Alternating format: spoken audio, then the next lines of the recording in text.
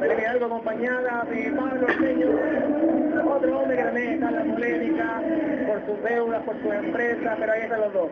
Belén Hidalgo y Pablo Ormeño acá en un evento discotequero club.